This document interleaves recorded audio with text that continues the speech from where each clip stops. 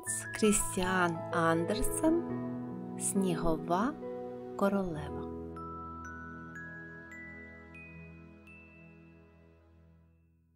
Оповідання перше, в якому йде мова про дзеркало та скалки. Ну так, починаємо. Коли ми дійдемо до кінця цієї історії, ми знатимемо більше, ніж зараз. Так ось жив один лютий чорт. Він був дуже лютий, він був сам сатана. Якось він був у дуже хорошому настрої, тому що зробив собі дивне дзеркало. Це дзеркало мало незвичайну властивість. Все хороше і прекрасне зменшувалось в ньому до неможливого, а все негідне і погане виступало чіткіше і здавалося ще гіршим. Чудові краєвиди виглядали в ньому вареним шпінатом, а найкращі люди потворами, або здавалося, що вони стоять на головах і в них нема животів. Обличчя робилися такі перекривлені, що їх не можна було пізнати, а якщо в кого було ластовиння, воно розпливалося на весь ніс або рот. Це надзвичайно весело, сказав чорт.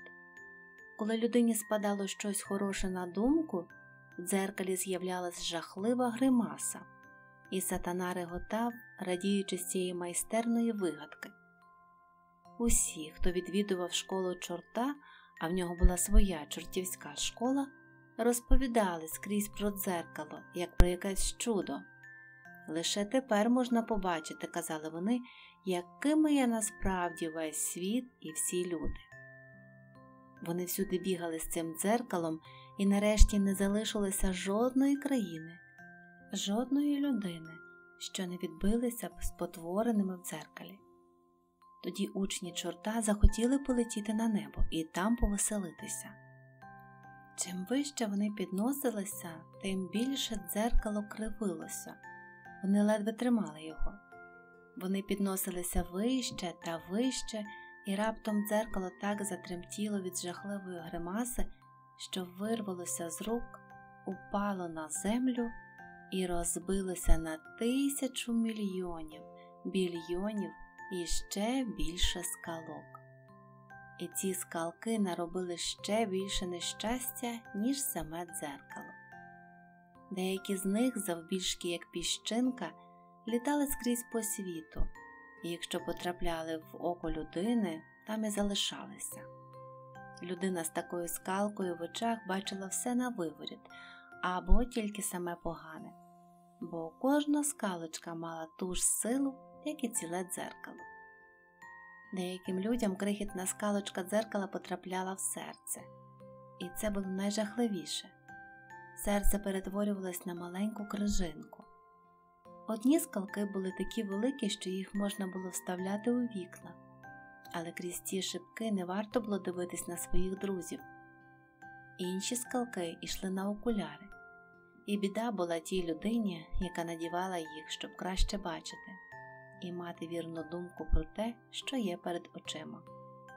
Чорт сміявся так, що от-от міг луснути, і радів, наче його приємно лоскотали а по світу літало ще багато скалок дзеркало. Слухаймо ж далі. Оповідання друге Хлопчик та дівчинка. У великому місті, де так багато людей та будинків, що не вистачає місця, аби кожен міг відгородити собі невеличкий садок, і тому задовольняється лише кімнатними квітами в горщиках, жило двоє маленьких дітей але вони мали садок більший за горщик для квітів. Вони не були братом і сестрою та любили одне одного, як брат і сестра. Їхні батьки жили в мансардах двох суміжних будинків. Там, де майже сходилися дахи обох будинків, і між дахами йшли дощові ринви, виглядали маленькі віконечка. Ступнувши з якого небудь віконечка на ринву, можна було опинитися коло вікна сусідів. Батьки мали великі дерев'яні ящики, і в них росла зелень для страв та кущики троянд, у кожному ящику по одному. Кущики чудово розростались. Якось батьки вирішили поставити ці ящики впоперек ринву, ніби дві грядки квітів виросли між вікнами. Горох спускався з ящиків униз, а троянди простягали довгі гілочки, що заглядали у вікна і перепліталися між собою. Це нагадувало тріумфальну арку з квітів та листя. Ящики були дуже високі, діти знали, що лазити на них не можна. Але батьки часто дозволяли хлопчикові і дівчинці ходити в гості одне до одного по даху і сидіти на маленькій лавочці під трояндами. Там вони так чудово гралися.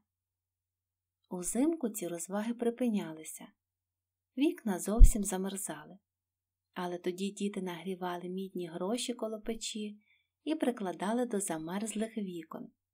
Відразу з'являлося чудове віконечко, таке кругле-кругле, і звідти визирало миле, ласкаве очко. Це виглядали з своїх вікон маленький хлопчик і маленька дівчинка. Хлопчика звали Кай, дівчинку Герда. Улітку вони могли одним стрибком опинитися в гостях одне в одного, а взимку треба було спочатку спуститися на багато-багато східців униз, а потім зійти на стільки ж східців угору. А на дворі мала метелиця. Це білі бджілки рояться, сказала стара бабуся. А в них також є своя снігова королева?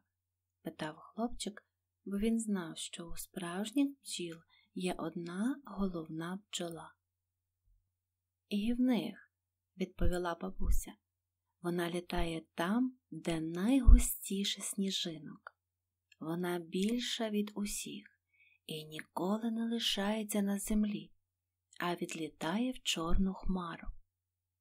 Інколи ночами пролітає вона вулицями міста і заглядає в вікна.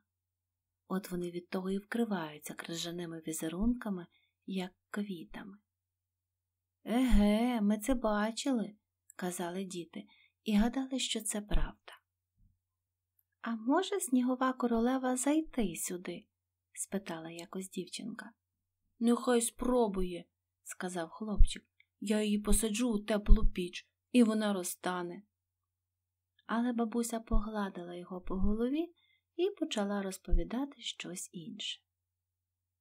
Увечері, коли Кай був удома і майже зовсім роздягся на ніч, він зліз на стілець коло вікна і подивився крізь маленьку дірочку в шипці. За вікном літали сніжинки, і одна з них, найбільша, впала на краєчок ящика з квітами. Сніжинка раптом почала рости все більше і більше, і стала нарешті молодою жінкою, закутаною в найтонший білий серпанок, зітканий з мільйонів зірчастих сніжинок.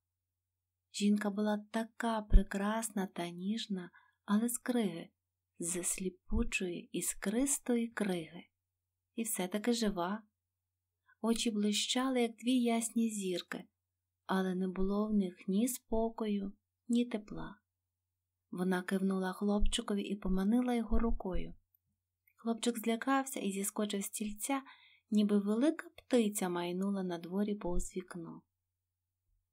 Другого дня був славний мороз, а потім настала відлига, і незабаром наступила весна.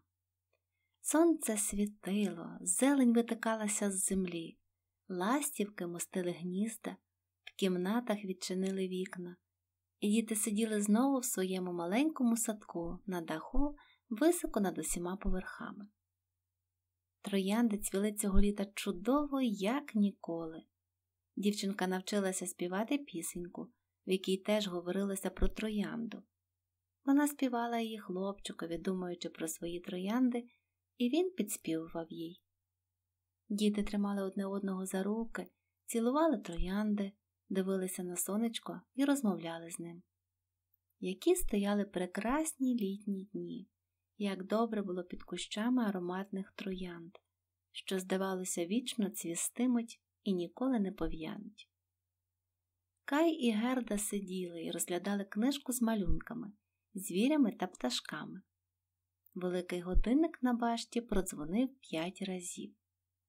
Ай! раптом скрикнув хлопчик. Мене щось кольнуло в серце і щось упало в око. Дівчинка обняла його за шию, він кліп очима. Ні, нічого не було видно в оці. Я думаю, вже випало, сказав він. Але в тому й справа, що ні, не випало. То були скалочки, які відскочили від дзеркала чарівного дзеркала сатани. Ми пам'ятаємо, що все велике й хороше здавалося в ньому нікчемним і гидким, а все зле і погане ще чіткішим. Бідний кай, скалочка попала прямо в серце. Воно мусило перетворитися в крижинку. Біль уже минув, але скалки залишилися. Чого ти плачеш? спитав він. Тепер ти така негарна. Зі мною нічого не трапилося. Фу. закричав він. Цю троянду точить черв'як, дивись, а ця зовсім крива. Ні, справді, це зовсім погані троянди, не краще за ящиків, яких стирчать. І він, штовхнувши ногою ящики, вирвав обидві троянди. Кай, що ти робиш? закричала дівчинка а він, побачивши її переляк, вирвав ще одну, стрибнув у своє вікно і втік від маленької, милої герти. З того дня, коли вона приносила книжки з малюнками, він їй казав, що це годиться лише для немовлят. Розповідала щонебудь бабуся, він присікувався до кожного слова. Та хіба тільки це? Він дійшов до того, що надівав її окуляри і розмовляв так самісінько, як вона, і це смішило людей. А незабаром Кай вивчився передражнювати й мову і ходу всіх сусідів. Все, що було в них нехорошого, всі їхні хиби він умів виставити на показ, і люди казали, що за голова в цього хлопця. А причиною цьому були скалки дзеркала що потрапили йому в око і в серце. Він дражнив навіть маленьку герду, яка любила його від щирого серця. Його розваги зробилися зовсім інакші, ніж раніше, вони стали зовсім незвичайні. Якось узимку, коли випав сніг, він прийшов до герди з великим збільшувальним склом і підставив під сніжинки полу своєї синьої курточки. Подивись у скло, Гердо, сказав він. Кожна сніжинка під склом здавалась далеко більшою, ніж насправді, і нагадувала розкішну квітку або десятикутну зірку. Це було так дивно. Подивись, як майстерно зроблено, говорив Кай. Це куди цікавіше, ніж справжні квіти. І яка точність? Жодної нерівної лінії, якби вони тільки не танули.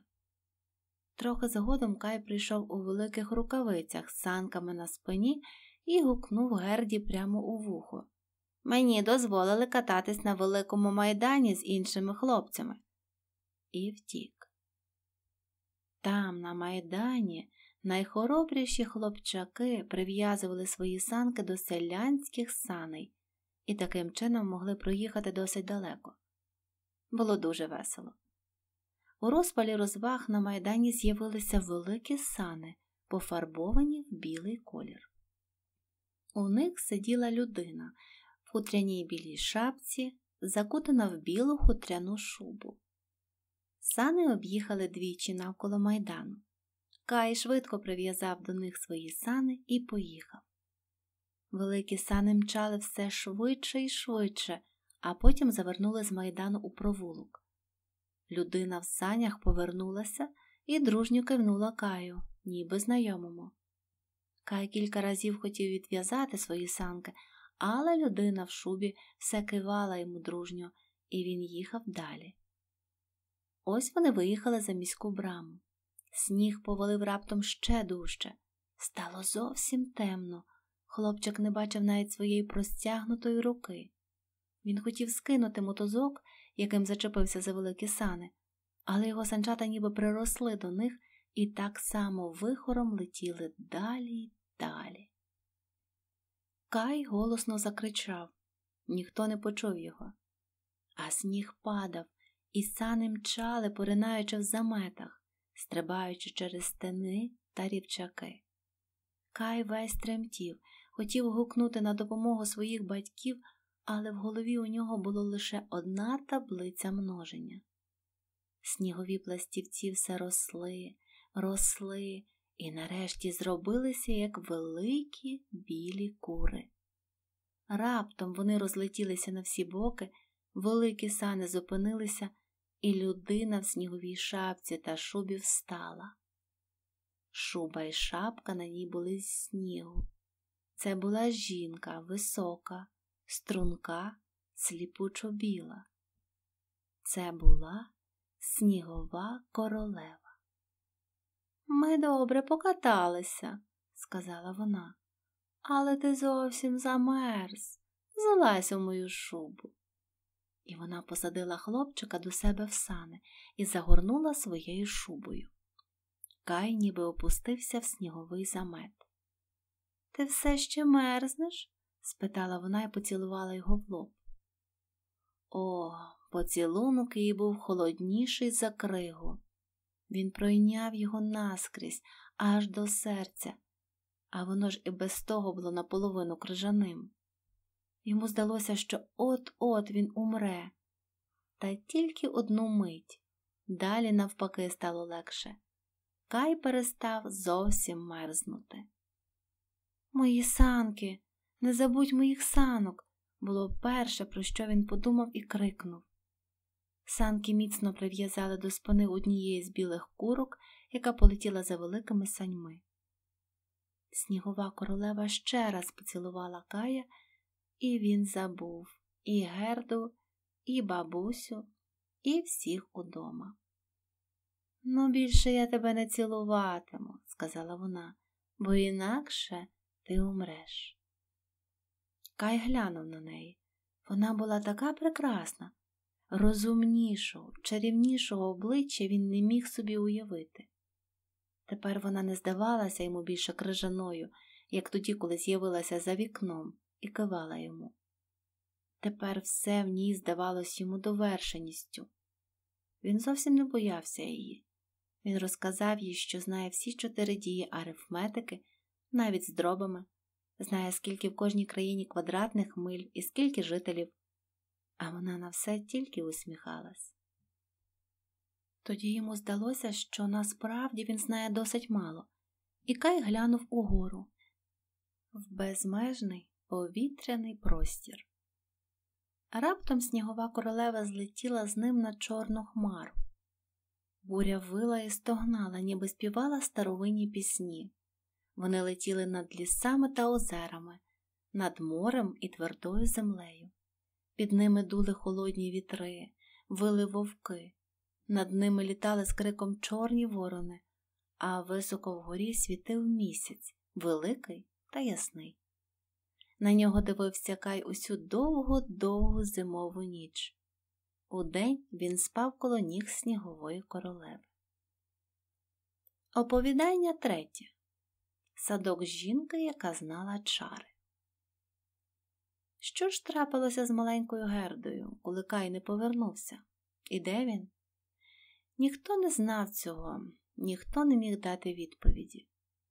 Хлопчики розповідали тільки, що бачили, як він прив'язав санки до великих, розкішних саней, які потім завернули у провулок і виїхали за браму міста. Ніхто не знав, де він тепер. Багато сліз було пролито за ним. Гірко й довго плакала Герда. Нарешті вирішили, що Кай помер, може, потонув у річці, що притікала близько коло міста.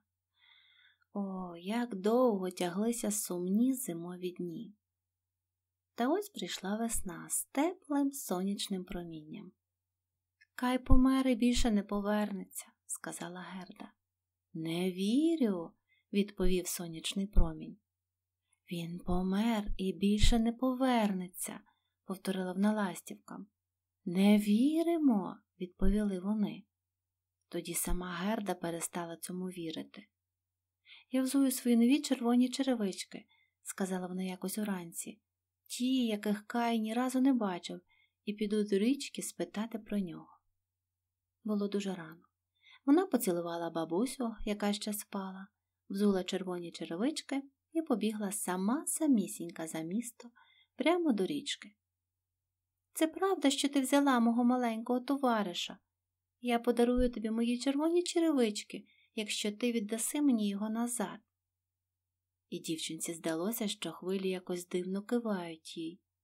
Тоді вона скинула свої червоні черевички найдорожчу річ, яка в неї була, і кинула їх у річку. Але черевички впали якраз коло берега, і хвилі відразу винесли їх на землю. Ріка ніби не хотіла брати у дівчинки її найдорожчу річ, бо не могла повернути їй кая. А дівчинка подумала, що кинула черевички не досить далеко, влізла в човен, який гойдався в комишах, стала на краєчок корми і знову кинула черевички в воду. Човен не був прив'язаний і відштовхнувся від берега. Дівчинка хотіла швидше вистрибнути на землю, але поки пробиралася з корми на ніс, човен відійшов уже далеко від берега і швидко поплив за течією. Герда дуже перелякалась, почала плакати і кричати, але ніхто, крім горобців, не чув її. Горобці ж не могли перенести її на землю. Вони тільки летіли за нею вздовж берега і, ніби бажаючи її втішити, цвірінчали. Ми тут, ми тут. Човен плив за водою далі й далі. Герда сиділа смирно в самих панчішках. Її червоні черевички пливли за човном, але не могли нас догнати. А обидва береги ріки були дуже красиві, цвіли чудові квіти, стояли високі розлогі дерева. На луках паслися вівці та корови, але ніде не видно було жодної людини. Може, річка несе мене до маленького кая, подумала Герда, повеселішала, підвелася на ніжки і довго милувалася гарними зеленими берегами. Аж ось вона припливла до великого вишневого садка, в якому стояла маленька хатинка під солом'яною стріхою з дивними червоними і блакитними віконцями.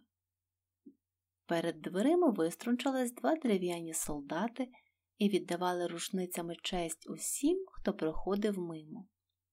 Герда гукнула їм. Вона думала, що солдати живі. Але, звичайно, вони нічого не відповіли. Човен підплив зовсім близько, трохи не до самого берега. Дівчинка гукнула ще голосніше. З хатинки вийшла, спираючись на костур, стара престара бабуся у великому солом'яному капелюсі, на якому були намальовані дивні квіти. Ах, бідна маленька дитинка, сказала стара. Як це ти потрапила на таку велику річку і запливла так далеко?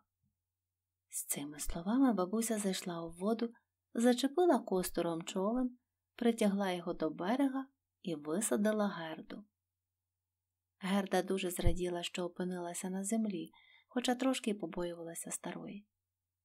Ну, ходімо, розкажеш мені, хто ти така і як сюди дісталась, сказала бабуся. Герда почала про все їй розповідати, а бабуся похитувала головою і повторювала «Хм, хм». От дівчинка скінчила і спитала бабусю, чи не бачила вона кая. Та відповіла, що він ще не проходив тут, але напевне йтиме, так що дівчинці нема чого сумувати. Хай краще покуштує вишень. Та подивиться на квіти в саду. Вони кращі, ніж намальовані в якійсь завгодно книжці з малюнками, і кожна з квіток уміє розповідати казки. Тут бабуся взяла герду за руку, повела до себе в хатинку і замкнула двері на ключ. Вікна були високо від підлоги і всі різнокольорові червоні, блакитні, жовті, тому сама кімната світилася дивним різнобарвним світлом. На столі стояла корзина зі стиглими вишнями, і Герда могла їсти їх досхочу. Поки вона їла, бабуся розчісувала їй волосся золотим гребінцем. Волосся кучерявилось і оточувало золотим сяйвом свіженьке, кругле, як троянда, личко дівчинки. Давно вже я хотіла мати таку милу маленьку дівчинку, сказала бабуся. Ото побачиш, як добре ми заживемо з тобою. І чим довше вона чесала кучері дівчинці, тим більше забувала герда свого названого братика Кая. Стара жінка вміла чарувати, але вона не була лихою чарівницею. Вона чарувала тільки трошки для розваги, а зараз їй дуже захотілося лишити герду в себе. Тому вона пішла в садок, торкнулася своїм костором усіх троянд, і ті, як стояли розквітлі й пишні, так і опустилися глибоко-глибоко в землю, і сліду від них не стало. Бабуся боялася, що Герда, побачивши троянди, згадає про свої, а потім прокає і втече від неї. Зробивши свою справу, бабуся повела Герду в квітник. Які пахощі, яка розкіш! Тут було стільки найрізноманітніших квітів кожної пори року. У цілому світі не могли б відшукати книжки з малюнками, барвистішими і прекраснішими за цей квітник. Герда стрибала від задоволення і гралась між квітів, поки сонце не сіло за високими вишневими деревами. Тоді бабуся поклала її в гарненьке ліжечко з червоними шовковими подушками, набитими блакитними фіалками. Дівчинка заснула, і їй снилися чудові сни. Другого дня Герді знову дозволили гратися серед квітів на сонечку. Так минуло багато днів. Герда знала кожну квіточку. Та хоч їх було й багато, їй все-таки здавалося, що якоїсь не вистачає. Але якої? Одного ранку вона сиділа і розглядала солом'яний капелюх бабусі, на якому були намальовані квіти. Найкращою серед них була троянда. Бабуся забула її стерти, коли загнала інші живі троянди під землю. От що значить неуважність. Як? Тут нема троянд? скрикнула Герда і побігла шукати їх по клумбах. Шукала, шукала і не знайшла жодної. Тоді дівчинка сіла на землю і заплакала. Теплі сльози впали якраз на те місце, де стояв раніше один з кущів троянд. Як тільки сльози змочили землю, вмить з неї виріс кущ, такий же свіжий, квітучий, як і раніше. Герда обняла його, поцілувала троянди і раптом згадала про ті чудові троянди, що цвіли у неї вдома, а разом з ними і прокає. Ой, як я забарилася, сказала дівчинка. Адже мені треба шукати Кая. Чи не знаєте ви, де він? Спитала вона у троянд. Чи ви вірите тому, що він умер і не повернеться більше? Він не вмер, сказали троянди, адже ми були під землею, куди йдуть усі померлі, але Кая між ними нема. Дякую вам, сказала маленька Герда і пішла до інших квітів. Заглядала в їхні чашечки і питала, чи не знаєте ви, де Кай? Але кожна квітка грілася на сонечку і думала тільки про свою власну казку або історію. Їх наслухалася маленька Герда багато, але жодна з квіток не сказала ні слова про Кая. І вона побігла на кінець садка. Хвіртка була зачинена на засув, але Герда так довго смикала за іржавілий засув, що він піддався, хвіртка відчинилася, і дівчинка, так як була босоніж, побігла шляхом. Разів зотри вона оглянулася назад, але ніхто не гнався за нею. Нарешті дівчинка втомилася, сіла на камені і поглянула навкруги. Літо вже минуло, настала пізня осінь, а в чарівному садку бабусі, де завжди сяяло сонце і цвіли квіти всіх часів року, цього й не було помітно. Ой, як же я забарилася, Уже осінь на дворі. Ні, спочивати не можна, сказала маленька Герда і знову рушила в путь. Ой, як втомилися і нили її маленькі ніжки, як холодно та вогко було навколо. Довге листя на вербі зовсім пожовкло. Туман сідав на нього великими краплинами і стікав, немов дощ, на землю. Листя падало одне за одним. Лише терен стояв укритий ягодами, але такими терпкими. Яким же сірим, сумним здавався цілий світ. Оповідання четверте Принц і принцеса. Герді знову довелося сісти перепочити.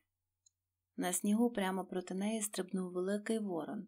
Він довго-довго дивився на дівчинку, киваючи її головою, і нарешті заговорив Кра, кра, драстуй. Краще вимовити людською мовою не вмів, але, видно, бажаючи дівчинці добра, спитав її, куди це вона бреде по світу, сама самісінька. Слова сама самісінька. Герда зрозуміла дуже добре і відчула відразу все їхнє значення. Вона розповіла воронові про своє життя і спитала, чи не бачив він Кая. Ворон замислено похитав головою і сказав Можливо, можливо. Та невже справді? гукнула дівчинка і трохи не задушила ворона поцілунками. Спокійніше, спокійніше, сказав ворон. Я гадаю, що це був Кай, але тепер він, напевно, забув тебе своєю принцесою. Хіба він жив у принцеси? спитала Герда. А от послухай, сказав ворон, тільки мені дуже важко розмовляти по-вашому. От якби ти розуміла воронячу мову, я б тобі розповів про все далеко краще. Ні, цього мене не вчили, мовила Герда. Моя бабуся та все розуміє і теж, напевно, вміє розмовляти цією мовою. Ну, нічого, сказав Ворон. Розповім, як зумію, хоч і погано. І він розповів про все, що тільки знав.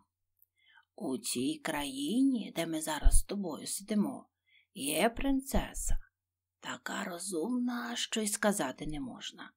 Вона прочитала всі газети на світі і вже забула все, що прочитала.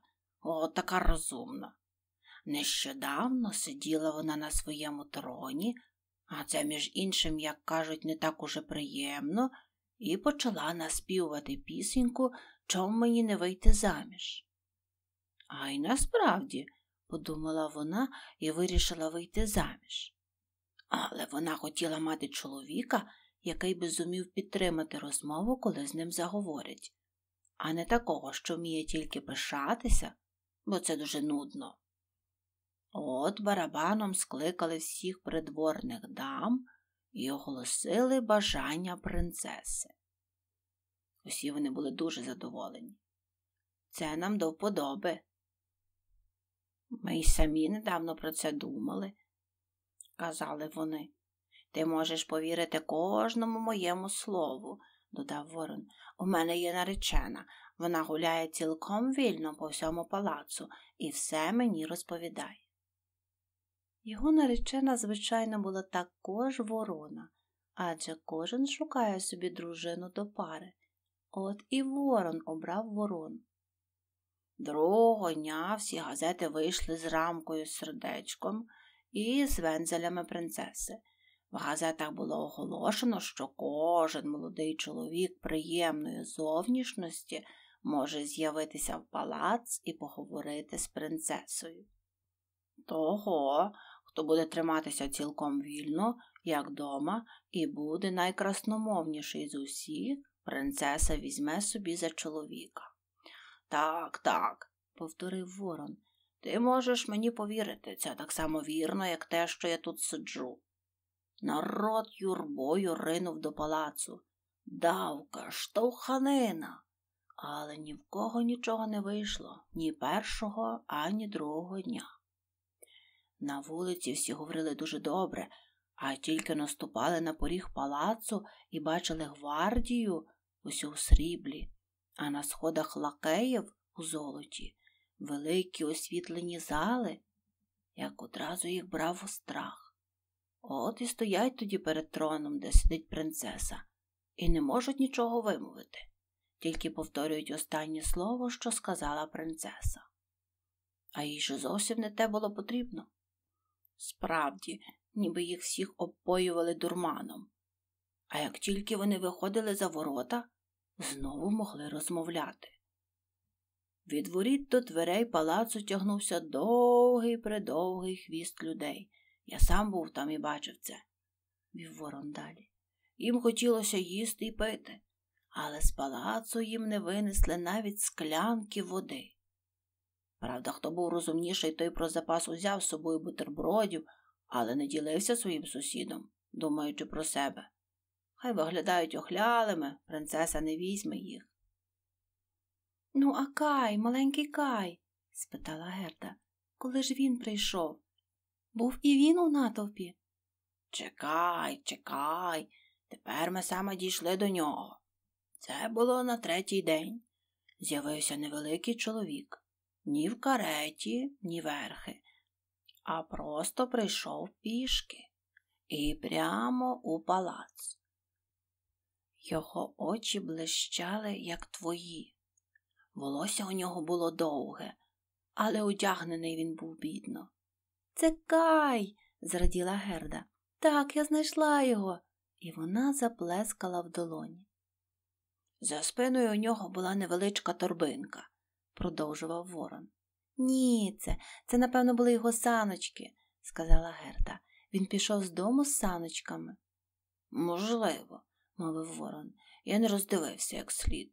Але я добре знаю від моєї нареченої, що, зайшовши в палац і побачивши гвардію у сріблі, а на сходах лакеїв у золоті, він ані трішечки не збентежився.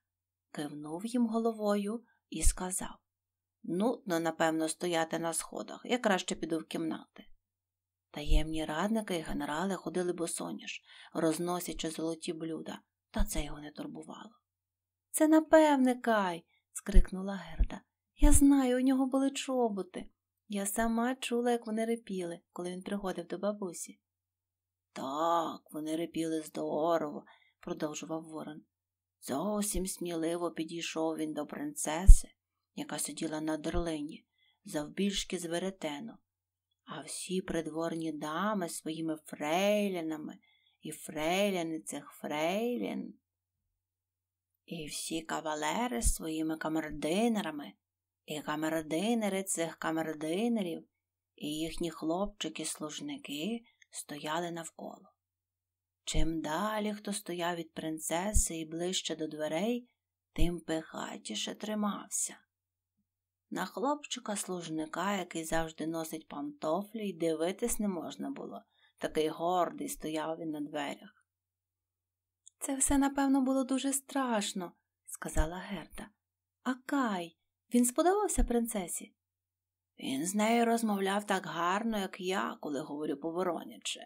Це я чув від моєї нареченої. Він тримався вільно і дуже мило. Він заявив, що прийшов не сватати, а тільки послухати мудрі розмови принцеси. Ну, і от вона йому сподобалася, і він їй також. Так, це напевно був Кай, сказала Герда. Він такий розумний, знає усі чотири дії арифметики, навіть з дробами. Ах, проведи ж мене швидше в палац. Це легко сказати, відповів Ворон. Але як це зробити? Стривай, я пораджуся з моєю нареченою. Вона вже щось придумає і скаже нам. Ти думаєш, що тебе так просто і пустять у палац? А як же? Таким маленьким дівчаткам, як ти, не дозволяють туди заходити. Мене пустять, мовила Герда. Якби Кай почув, що я тут, він одразу прибіг би за мною. Почекай мене тут, коло парканчика, сказав Ворон, кивнув головою і полетів. Ворон повернувся пізно ввечері. Кра, кра, закаркав він. Моя подруга посилає тобі тисячу привітань і оцю маленьку паляничку. Вона взяла її на кухні. Там їх багато, а ти, напевне, голодна. Ну, це неможливо, щоб тебе впустили в палац, ти ж босоніжка. А вардійці в сріблі і лакеї в золоті цього не дозволять. Але ти не плач, ти будеш там. Моя подруга знає, як прийти в спальню принцеси з чорного ходу і знає, де дістати ключ. Вони пішли садом, довгими алеями, де падало пожовкле листя одне за одним. Коли всі вогні в палаці погасли, ворон провів дівчинку у маленькі напіввідчинені двері. О, як билося серце Герди від страху і палкого бажання побачити Кая. Дівчинка ніби збиралася зробити щось лихе, а вона ж тільки хотіла взнати, чи живий її маленький Кай. Так, він повинен бути тут. Герда так живо уявляла собі його розумні очі, довге волосся, усмішку. Як він усміхався їй, коли вони, бувало, сиділи поряд під кущами троянд. А як зрадіє він тепер, коли побачить її, почує, який довгий шлях прийшла вона ради нього, дізнається, як сумували за ним усі рідні. Ах, вона відчувала і радість, і страх. Та ось вони вже на сходах. На шафі горіла лампочка, а на підлозі сиділа ручна ворона і озиралася на всі боки. Герда вклонилася їй, як учила робити її бабуся. Мій наречений розповів мені про вас стільки хорошого, сказала ручна ворона. Повість вашого життя, як це звучить, теж дуже зворушлива. Чи не можете ви взяти лампу, а я піду вперед. Ми підемо прямо і нікого тут не зустрінемо. А мені здається, хтось іде за нами, сказала Герда, і в ту ж хвилинку повз неї пролетіли якісь тіні. Коні з розпущеними гривами і тонкими ногами, мисливці, дами та кавалери верхи. Це сни, сказала ручна ворона. Тим краще для нас, зручніше буде роздивитися сонних. Я сподіваюся, що коли ви будете в пошані та честі, ви покажете, що у вас благородне серце. Це цілком зрозуміло, сказав лісовий ворон. Тут вони увійшли в першу залу, всю оббиту рожевим атласом та заткану квітами. Повз дівчину знову пролинули сни, але так швидко, що вона не встигла роздивитися вершників. Зали були розкішніші одна за одну, просто можна було засліпнути. Нарешті вони дійшли до опочивальні. Стеля її нагадувала верхів'я величезної пальми з дорогоцінним кришталевим листям. Зсередини стелі спускалася товста золота стеблина, на якій висіли два ліжка, що мали форму лілії. Одне було біле, і в ньому спала принцеса, друге червоне, і в ньому Герда сподівалася знайти кая. Дівчинка злегка одгорнула одну з червоних пелюсток і побачила темно русяву потилицю. О, це був Кай. Вона голосно вигукнула його ім'я і піднесла лампу до його обличчя. Сни з шумом полетіли геть. Хлопець прокинувся і повернув голову. О, це був не маленький Кай. Принц був схожий на нього лише з потилиці. З пелюсток білої лілії визирнула принцеса і спитала, що трапилося. Маленька Герда заплакала і розповіла всю свою історію і все, що зробили для неї ворони. Ох, маленька бідолашко, мовили принц і принцеса. А ворон похвалили і сказали, що вони на них не сердяться, але що більше ворони так не робили. Проте ворони мусять одержати нагороду. Хочете вилітати на волі? спитала принцеса, або мати постійну посаду придворних ворон і все те, що залишається на кухні. Обидві ворони вклонилися і подякували за постійну посаду, тому що подумали про старість. Вони сказали на схилі віку добре мати вірний шматок хліба. Принц підвівся свого ліжка і запропонував його герді. Більше він поки що нічого не міг зробити. Вона склала свої маленькі ручки і подумала, які хороші бувають люди і звірі. Потім заплющила очі і солодко заснула. Сни знову прилинули в опочивальню. Здавалося, вони везли на маленьких саночках Кая, який кивав Герді головою. Але, на жаль, це був лише сон, і все зникло, коли дівчинка прокинулась. Другого дня її одягли з голови до ніг у оксамит та шовк і пропонували залишитися в палаці і жити з ними. Але вона попросила лише маленькі санки з конем і пару чобітків. Дівчинка хотіла знову їхати в далекий світ, розшукувати кая. Їй дали і чобітки, і муфту, і чудове платячко, а коли вона попрощалася з усіма, до воріт під'їхала карета з чистого золота. Герб принцеси і принца блищав на ній, як зірка. Кучери, лакеї, форейтори, їй дали і форейторів, усі були в маленьких золотих коронах. Принц і принцеса посадили її в карету і побажали щасливої дороги. Лісовий ворон, який вже одружився з ручною вороною, проведжав її перші три милі і сидів у кареті поряд з дівчинкою. Він не міг їхати, сидячи спиною до коней. Ручна ворона стояла на дверях і махала крилами. Вона не поїхала проводити дівчинку, бо в неї боліла голова, з того часу, як мала постійну посаду і багато їжі. У кареті було повно пряників і кренделів, а в ящик під сидіння поклали фрукти і горіхи. Прощавай, прощавай, кричали принц і принцеса. І Герда заплакала, і ворон також. Так проїхали вони перші три милі. Тут і Ворон попрощався з дівчинкою.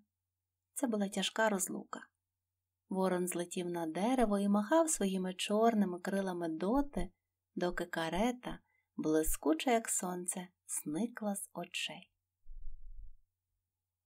Оповідання п'яте Маленька розбійниця. Вони їхали темним лісом, але карета світила, наче ліхтар, і засліпила очі розбійникам, а вони цього не стерпіли. Золото, золото. закричали вони, кинулись на карету, схопили коней, убили маленьких служників та кучера і витягли з карети герду. Яка ситенька, яка маленька, напевне, горішками відгодована, сказала стара розбійниця з довгою колючою бородою і волохатими бровами, що насунулись на очі. Жерненька, як молоденький баранчик. Яка ж це вона на смак? і вона витягла гострий блискучий ніж. Це було жахливо. Ай! закричала вона раптом. Її вкусила за вухо власна донька, що сиділа у неї за спиною і була така свавільна та дика, просто страх. Ах ти, жахливе дівчисько. закричала мати і не встигла убити герду. Вона гратиметься зі мною, сказала маленька розбійниця, і віддасть мені свою муфту, своє гарне платячко і спатиме зі мною в моєму ліжку. І дівчинка знову так вкусила матір за вухо, що та підстрибнула і закрутилась на одному місці. Розбійники зареготали. Ач як танцює своїм дівчиськом. Я хочу сісти в карету, закричала маленька розбійниця і одразу здійснила своє бажання, тому що була дуже розбещена і уперта. Вона і Герда сіли в карету і помчали вглиб лісу, по пнях та камінні. Маленька розбійниця була така на зріст, як Герда, але дужча за неї, ширша в плечах і смаглява. Очі в неї були чорні, вони дивилися якось сумно. Вона обняла Герду за стан і сказала Вони не вп'ють тебе, поки я на тебе не розсерджуся. Ти принцеса? Ні, сказала Герда і розповіла про все, що їй довелось пережити і як вона любить маленького Кая. Маленька розбійниця подивилася зовсім несерйозно на неї, злегка кивнула головою і мовила Вони не б'ють тебе, навіть коли я розсерджуся на тебе. Я краще сама уб'ю тебе. І вона витерла сльози Герді, а потім сховала обидві руки в її гарненьку муфточку, м'яку та теплу. От карета зупинилася. Вони в'їхали на подвір'я розбійницького замку. Він весь згори донизу потріскався. Гайвороня вилітала з великих щілин. Вибігли величезні бульдоги, і, здавалось, кожен з них може проковтнути людину. Вони підстрибували високо вгору, але не гавкали. Це їм було заборонено. Посеред величезної зали з напівзруйнованими закуреними стінами та кам'яною підлогою палав вогонь. Дим підіймався до стелі і сам собі шукав виходу. Над вогнем кипів у величезному казані суп, а на рожнах смажилися зайці та кролики. Ти спатимеш цю ніч зі мною, коло моїх маленьких звіряток, сказала розбійницька дівчинка. Дівчаток нагодували і напоїли, і вони пішли в свій куток, де лежала солома, вкрита килимами. Вище над ними, на жердинках, на перекладинах, сиділо більше сотні голубів. Усі вони, здавалося, спали, але коли підійшли дівчатка, трохи заворушилися. Вони всі мої, сказала маленька розбійниця, схопила швидко одного і потрусила так, що той замахав крилами. Поцілуй його. гукнула вона, сунувши голуба Герді прямо в обличчя. А ось тут сидять лісові пустуни, продовжувала вона, показуючи на двох голубів, що сиділи у невеличкій заглибині стіни за дерев'яними ґратками. Ці двоє лісові пустуни, їх треба тримати замкненими, а то враз полетять. А от мій любий дідуганчик Б. І дівчинка потягла за роги прив'язаного до стіни північного оленя в блискучому мідному нашийнику. Його теж треба тримати на прив'язі, бо втече. Щовечора я лоскочу його під шиєю моїм гострим ножем. Він дуже цього боїться. І маленька розбійниця витягла з розколини в стіні довгий ніж і провела ним по шиї оленя. Бідна тварина почала брикатися, а дівчинка зареготала і потягла Герду до постелі. Хіба ти спиш з ножем? спитала її Герда, з острахом дивлячись на цю річ. Завжди, відповіла маленька розбійниця. Хто знає, що може трапитися, але розкажи мені ще про маленького Кая і про те, як ти мандрувала по світу. І Герда розповіла знову все спочатку, а лісові голуби воркотіли вгорі в своїй клітинці, інші голуби вже спали. Маленька розбійниця обняла однією рукою герду, в другій у неї був ніж, і захропіла. Але Герда не могла заплющити очей. Вона не знала, чи вб'ють її, чи залишать живою. Розбійники сиділи навколо вогню, співали і пили вино, а стара розбійниця перекидалась. О, як страшно було дивитися на це маленькій дівчинці. Раптом лісові голуби сказали Курр, курр, ми бачили маленького кая. Біла курка несла на спині його саночки. Він сидів у санках снігової королеви. Вони їхали лісом, коли ми ще лежали в гнізді. Вона дихнула на маленький голуб'ят і, крім нас двох, усі вмерли. Курр, курр. Що ви там говорите на горі? Скрикнула Герда. Куди поїхала снігова королева? Ви знаєте про це? Вона поїхала, напевно, в Лапландію, відповіли голуби, адже там завжди сніг і лід. Спитаю північного оленя, що стоїть на прив'язі. Так, там завжди сніг і крига. Там так чудово і прекрасно, сказав північний олень. Там можна стрибати на волі по величезних, блискучих крижаних полях. Там стоїть літнє шатро снігової королеви. Але її найулюбленіший палац коло північного полюса на острові, що зветься Шпіцберген.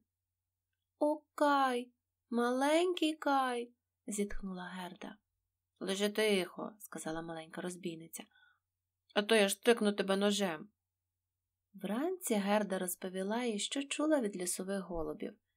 Маленька розбійниця серйозно подивилася на Герду, кивнула головою і сказала Ну, хай буде так, хай буде так. А ти знаєш, де Лапландія? спитала вона у північного оленя. Хто ж це може знати краще за мене? відповів олень, і очі в нього заблищали. Там я народився і виріс, там стрибав по снігових полях. Так слухай, сказала Херді маленька розбійниця. Бачиш, усі наші пішли. Вдома одна мати, але трохи згодом вона засне. Тоді я дещо для тебе зроблю. Дівчинка стрибнула з ліжка, обняла матір, смикнула її за бороду і сказала Доброго ранку, мій любий козлику. А мати нащипала її ніс так, що він почервонів і посинів, але все це робилося з великою любов'ю. Коли стара хильнула сьомої пляшки і захропла, маленька розбійниця підійшла до північного оленя і сказала Я ще могла б довго розважатися з тобою, бо ти дуже смішний, коли тебе лоскочуть гострим ножем, але вже нехай буде так. Я відв'яжу тебе і випущу на волю. Ти можеш утекти в свою Лапландію, але за це ти мусиш віднести до палацу снігової королеви цю дівчинку. Там її названий братик. Ти, звичайно, чув, що вона розповідала. Вона говорила досить голосно, а ти завжди підслухуєш. Північний олень застрибав від радості. Маленька розбійниця посадила на нього герду, міцно прив'язала її про всяк випадок і підсунула під нею м'яку подушечку, щоб було зручніше сидіти. Ну, хай вже буде так, сказала вона далі. Візьми назад твої хутряні чобітки, бо буде холодно, а муфту я вже лишу собі. Надто вона гарненька. Проте мерзнути я тобі не дам. Ось материні рукавиці, вони тобі будуть аж по лікті. Засувай в них руки. Ну, ось тепер рука у тебе, як у моєї матері. Герда плакала від радості. Терпіти не можу, коли скиглять, сказала маленька розбійниця. Тепер тобі треба дивитися весело. Ось на тобі ще дві хлібини й окорок. Ти не будеш голодувати. І хлібини окорок вона прив'язала до оленя. Потім маленька розбійниця відчинила двері, заманила усіх величезних собак у дім, перерізала своїм гострим ножем вірьовку, якою був прив'язаний олень, і сказала йому Ну, біжи, тільки бережи маленьку дівчинку. Герда простягла маленькій розбійниці обидві руки у величезних рукавицях і сказала Прощавай. Північний олень помчав через пні та каміння лісом, болотами, степами так швидко, як міг. Вовки вили, круки кричали. Фук-фук, почулося раптом з неба, і воно ніби зачихало вогнем. Ось моє рідне північне сяйво, сказав Олень. Дивись, як світить. Він побіг далі, не зупиняючись ні вдень, ні вночі. Хліб вони вже з'їли і нарешті опинилися в Лапландії. Оповідання шосте Лапландка і Фінка. Олень зупинився коло жалюгідної хатинки. Дак спускався до самої землі, а двері були такі низенькі, що людям доводилося пролазити в них рачки. Дома була одна стара лапландка. Вона смажила при світлі лоєвого каганця рибу. Північний олень розповів усю історію Герди, але спочатку свою власну. Вона здавалася йому далеко важливішою, а Герда так задубіла від холоду, що й говорити не могла. Ах ви, бідолахи, сказала лаплантка, вам ще далеко треба бігти. Доведеться пройти миль сто, поки дістанетеся Фінляндії, де живе снігова королева на дачі і щовечора запалює блакитні бенгальські вогні. Я напишу кілька слів на сухій рибі, трісці. Паперу в мене немає, а ви віднесете її фінці, яка живе в тих місцях і краще за мене навчить, що треба робити. Коли Герда зігрілася, наїлася і напилася, Лаплантка написала кілька слів на сухій рибі трісці, наказала Герді добре її берегти, потім прив'язала дівчинку до спини оленя, і той знову побіг. Фук-фук, знову лунало в повітрі. Цілу ніч спалахувало чудове блакитне північне сяйво. Так добіг олень з Гердою до Фінляндії і постукав у димар фінки. Дверей у неї зовсім не було. Всередині було так жарко, що фінка, маленька жінка, була майже гола. Вона швидко стягла з Герди все плаття, рукавиці й чобітки, інакше Герді було б надто жарко. Поклала оленю на голову крижинку і почала читати те, що було написано на сухій рибі трісці. Вона прочитала все спочатку до кінця тричі, поки не вивчила на пам'ять, і потім сунула тріску в казан з супом, адже риба ще могла згодитися, а у фінки нічого даремно не пропадало. Тут Олень розповів спочатку свою історію, а потім історію Герти. Фінка кліпала розумними очима, але не казала ні слова. Ти дуже мудра жінка, сказав Олень. Ти можеш зв'язати однією ниткою всі чотири вітри. Коли шкіпер розв'яже один вузол, повіє холодний, розв'яже другий, розгодиниться, а розв'яже третій і четвертий, зніметься така буря, що поламає на трісочки дерева. Чи не даси ти для дівчинки такого напою, що давав би їй силу дванадцяти богатирів? Тоді б вона подолала снігову королеву. Силу дванадцяти богатирів? сказала Фінка. А як же? Хіба це допоможе їй? Тут вона взяла з полиці великий сувій паперу і розгорнула його. На ньому стояли якісь дивні письмена. Фінка почала читати їх і читала, доки піт не виступив у неї на чолі. Олень знову почав просити за герду, а сама Герда дивилась на фінку такими зворушливими, повними сліз очима, що та знову закліпала, відвела оленя в куток кімнати і, міняючи йому лід на голові, прошепотіла.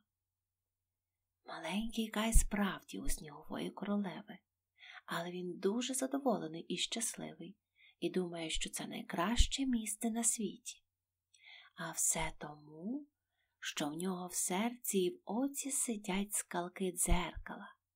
Їх треба викинути, інакше він ніколи не буде людиною, і снігова королева назавжди матиме над ним владу. А ти не можеш допомогти чим-небудь Герді, щоб вона стала сильнішою за всіх? Я не можу їй дати більше сил, ніж у неї є зараз. Хіба ти не бачиш, яка велика її сила? Хіба ти не бачиш, що їй підкоряються і люди, і тварини? Адже вона боса обійшла півсвіту. Не в нас позичати їй сили. Сила в її серці. Якщо вона сама не зможе пройти у замок снігової королеви і вийняти серця кая скалки, ми не зможемо й поготів. За дві милі звідси починається сад снігової королеви. Віднеси туди дівчинку і спусти коло великого куща, що стоїть на снігу, вкритий червоними ягодами. І швидко повертайся назад, не барися ні хвилинки. З цими словами Фінка посадила Герду на спину оленя, і той побіг, що було сили. Ай, я без теплих чобітків, ай, я без рукавиць. закричала маленька Герда. Вона згадала про них, опинившись на лютому морозі. Але олень не смів зупинитися, поки не добіг до куща з червоними ягодами. Тут він спустив герду, поцілував її прямо в губи, і по щоках його побігли великі блискучі сльози. Бідна герда залишилася одна, на лютому морозі, без чобіток, без рукавиць. Вона побігла, як тільки могла, швидко вперед. Назустріч їй линув цілий полк снігових пластівців, але вони не падали з неба. Небо було зовсім ясне, і на ньому палало північне сяйво. Ні, вони неслися по землі просто на герду і, наближаючись, ставали все більші та більші. Герда згадала великі гарні сніжинки під збільшувальним склом, але ці були далеко більші, страшніші, вони були живі і мали різну форму. Це були передові загони війська снігової королеви. Одні нагадували потворних їжаків, другі стоголових змій, треті товстих ведмежат з настовбурченою шерстю. Але всі були блискучо білі, всі були живі снігові пластівці. Герді було так холодно, що кожен подих відразу перетворювався в густий туман. Але нам треба подивитися, що ж було в цей час з Каєм. Він і не думав про Герду, і найменше про те, що вона йде до нього. Оповідання сьоме Що було в замку снігової королеви і що трапилося потім. Стіни замку снігової королеви збудувала метелиця. Вікна й двері пробили буйні вітри. Тут було більше сотні зал, наметених віхолами, найбільше тяглася на багато-багато миль. Північне сяйво освітлювало всі ці зали, і всі вони були такі великі, пустинні, такі крижано холодні і блискучі. Веселі розваги ніколи не заглядали сюди, ніколи не влаштовувались тут ведмежі бали з танцями під музику завірюхи, бали, на яких білі ведмеді показали б свою грацію та вміння ходити на задніх лапах, ніколи не збиралися погуляти в карти, не сходились побазікати за чашкою кави біленькі кумасі лисички. Ні, холодно, порожньо і пустинно було завжди в залах снігової королеви. Північне сяйво спалахувало і світило так правильно, що можна було точно розрахувати, коли світло збільшиться і коли зменшиться. Посередині найбільшої пустинної безконечної снігової зали було замерзле озеро. Крига тріснула на ньому на тисячу шматків, рівних і правильних, ніби це було навмисно зроблено. Посередині озера сиділа снігова королева, коли була вдома. Вона казала, що сидить на дзеркалі розуму і що це єдине і найкраще дзеркало на світі. Маленький кай зовсім посинів, майже почорнів від холоду, але не помічав цього. Поцілунки снігової королеви зробили його нечутливим до холоду, а його ж серце було крижиною. Кай грався плескатими крижинками, складаючи з них різні фігури. Є така гра складання фігур з дерев'яних дощечок. Вона зветься китайською. Кай теж складав різні вишукані фігури, але з крижин, і це називалося льодова гра розуму. В його очах ці фігури були чудом мистецтва, а складання їх найважливішою справою. Так йому здавалося, тому що в оці в нього сиділа скалка чарівного дзеркала. Він складав з крижин і цілі слова, але ніяк не міг скласти слово, яке йому особливо хотілося слово вічність. Снігова королева сказала йому Якщо ти складеш це слово, ти будеш сам собі володар, і я подарую тобі весь світ і нові ковзани. Але він ніяк не міг його скласти. Тепер я полечу в теплі краї, мовила якось снігова королева, подивлюся в чорні казани. Так вона називала кратери вогнедишних гір, Везувія і Етни. Я побілю їх трохи. Це добре після лимонів і винограду. І вона полетіла, а Кай залишився один в неосяжній пустинній залі, дивився на крижини і все думав, думав, так що в голові у нього боліло. Він сидів на одному місці такий блідий, непорушний, ніби неживий. Можна було подумати, що він замерз. В цей час у величезні ворота, що їх пробили буйні вітри, входила герда. Вітри тут затихли і лягли, ніби захотіли спати. Вона увійшла у велику пустинну холодну залу і побачила Кая. Вона впізнала його, кинулась йому на шию і крикнула Кай, милий Кай, нарешті я знайшла тебе. Та він сидів тихий, непорушний і холодний. Тоді Герда заплакала, її гарячі сльози впали йому на груди, пройшли в саме серце, розтопили крижану кору і розтопили скалку чарівного дзеркала. Кай глянув на Герду, і вона заспівала про троянди. Кай раптом гірко заплакав і плакав так довго і сильно, що скалка витекла з ока разом із сльозою. Тоді він пізнав Герду і зрадів. Герда, мила моя Герда, де ж ти була так довго? Де був я сам? Він оглянувся навколо. Як тут холодно, пустинно. І він міцно притулився до Герди. Вона сміялася і плакала від радості. Радість була така велика, що навіть крижини затанцювали.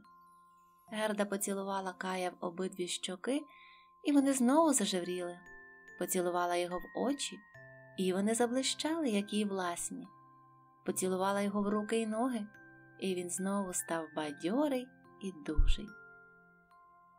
Кай з Гердою вийшли з пустинного крижаного замка. Вони йшли й говорили про бабусю, про свої троянди, і на їхньому шляху затихали буйні вітри, виглядало сонце. Коли ж дійшли до куща з червоними ягодами, там уже чекав їх північний олень. З ним була молода олениха, її вим'я було повне молока. Вона напоїла ним Кая і Герду і поцілувала їх в губи. Кай і Герда поїхали спочатку до Фінки, відігрілися в її теплій хатинці і дізналися про шлях додому.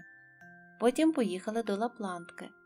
Вона пошила їм нові плаття, полагодила сани і поїхала проводжати. Олень з молодою оленихою теж проводжали їх до самого кордону Лапландії, де вже пробивалася перша зелень. Тут Кай і Герда попрощалися з оленями і з Лапланткою. Щаслива путь, сказали вони їм.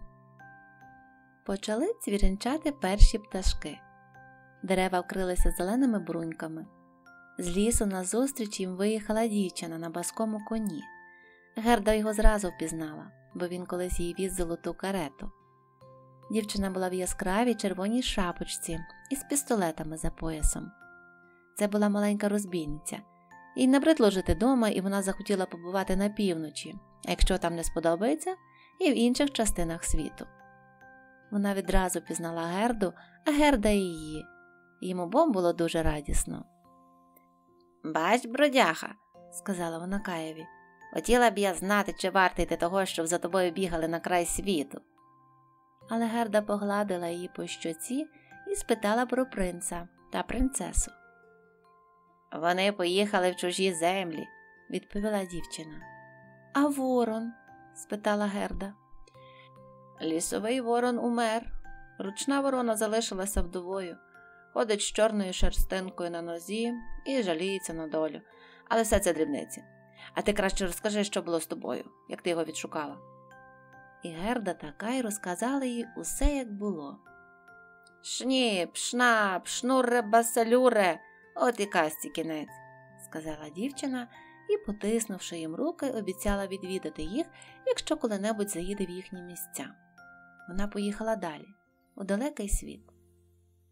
Кай і Герда йшли, тримаючись за руки, і по дорозі, де вони проходили, розквітали квіти, зеленіла трава. Вони побачили високі башти, пізнали велике місто, де вони жили. Вони зійшли знайомими сходами і ввійшли в кімнату, де все було по-старому, і годинник так само йшов тік-так, і стрілка так само рухалася. Але коли Кай і Герда увійшли в низенькі двері, вони помітили, що за цей час встигли стати дорослими людьми. Троянди цвіли і заглядали з даху у відчинене вікно. Там стояли і їхні дитячі стільчики. Кай і Герда сіли кожен на свій і взяли одне одного за руки. Холодну, величну красу володінь снігової королеви вони забули, як важкий сон. Так сиділи вони обоє, дорослі, але ще діти, діти серцем, а на дворі стояло тепле, радісне літо. Кінець.